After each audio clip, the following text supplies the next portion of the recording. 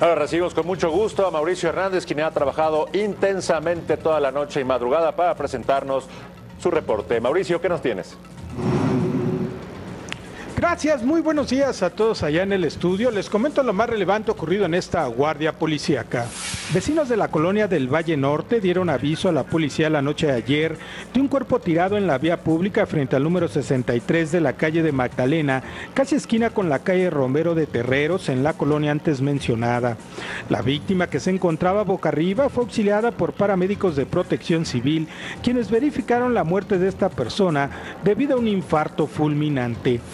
En más información, en carriles laterales de periférico, a la altura de la calle Segunda Cerrada de Hacienda, en la colonia Narciso Mendoza, quedó esta madrugada el cuerpo sin vida de un hombre de aproximadamente 60 años, el cual fue atropellado aparentemente por un camión que logró darse a la fuga.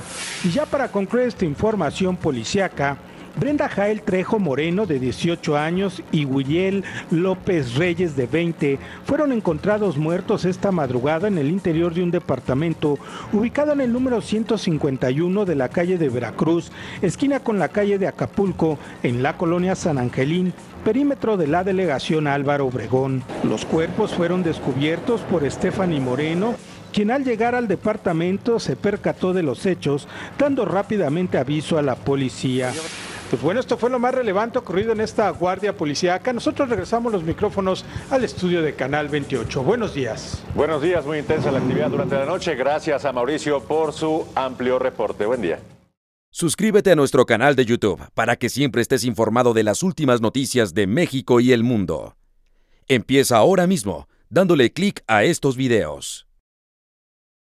Cadena 30, la televisión más abierta que nunca.